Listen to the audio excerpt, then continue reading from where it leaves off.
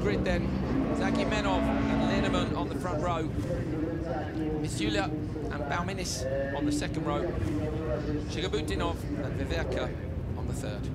In the meantime, let's get these guys underway. Zagumennov and Linneman then away from the front row. Behind them, Misyulya trying to come through the middle. It's a great start for the Russian driver in the orange. Fabia squeezes right through the middle. There was no gap there. And he tried to make himself one straight to the joker lap. Fantastic start from Misyulya.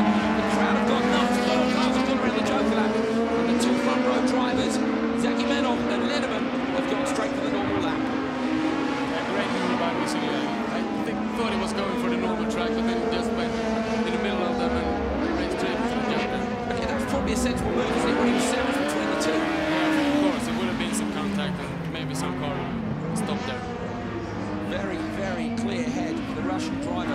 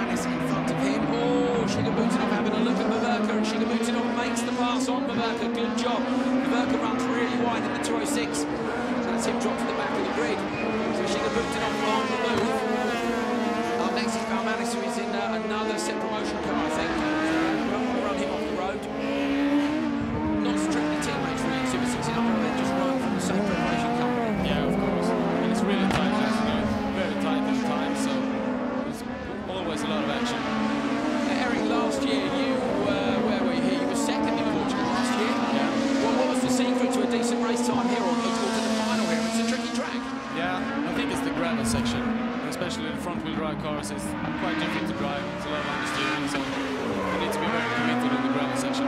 And the ground section changes a lot here through the week, and we can see there, can't we, as we look into this corner, how much tarmac has appeared at the, on the entry. Yeah, it's al it's almost like one line. You know, it's a bit different for the supercars and four-wheel drive. They're sliding more, so it's different every time you go out. And uh, last night we- we saw a clean line. They brought the grader out three times today and dragged the gravel back in again, and then wet gravel as well, its issues too. Yeah, because normally it gets like a hole just it.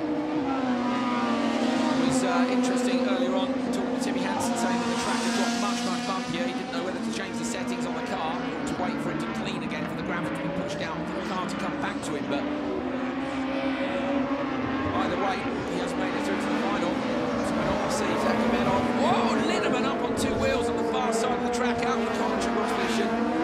Wow. Everybody being really aggressive on the curves. Eric, you said we've seen cars pitched over here just by dribbling the curve. Yeah, I think that's are very high here and difficult to drive and just unstable as the car. So I think you should stay off them in some places, and some places you need to attack them. Zagumennov is leading this one from Linneman. We're on the final lap. Those two guys are both going into the Joker lap now. This is what's going to decide who wins this race. I'm convinced that Zagumennov has got enough time. Linneman, those run wide in the Joker lap. Linneman's been dropped. Linneman dropped from second down to fourth place. Great drive by Zagumennov. What did Linneman do wrong? Yeah, I think it was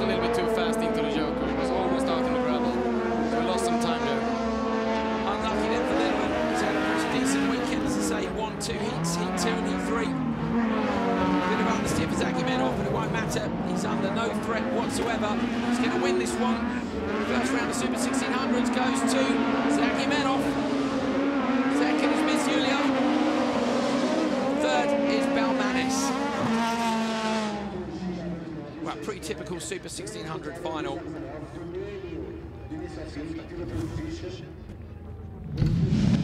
Here is the result. Zagumennov from Miss. Baumanis Lindemann, who lost it on the final lap, Shigabutinov and Veverka.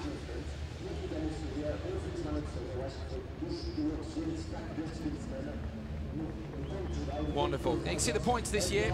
Eight points for a final win. Last year it was six. And that's to give a little bit more emphasis on those who take the risks and take the win in the final. Zagumennov really didn't need to take any risks at all, Eric. Brilliant start, never challenged. Yeah, he had a very clean race.